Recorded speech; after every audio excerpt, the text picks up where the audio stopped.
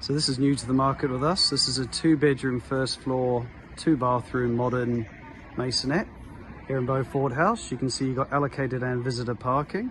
Comes with no onward chain. I'm going to take you in for a look.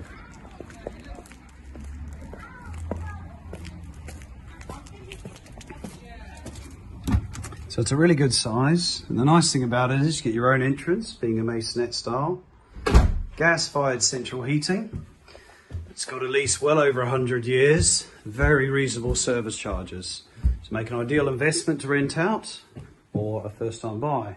So we come up to the landing and the first thing you've got is two good sized storage cupboards. One's got the boiler in it. There's the loft access there as well. We'll take you along to this side of the flat first. Lead you into the dual aspect living room. Which is a fair size. There's quite a bit of furniture in here. But it's good size. We're top floor, so there's no one above us. Mentioned it's gas centrally heated. You've got a modern fitted separate kitchen here. You've got a electric hob there, oven, sink, space for the washing machine, and the fridge freezer lives behind the door there. Second bedroom's across the hallway from there. Good size though, about 15 foot deep. Easy double. You've got built-in wardrobe there as well. A bit further down we go. You've got the main bathroom suite or family bathroom, which is a modern three-piece suite with a window. Again, fairly neat and tidy.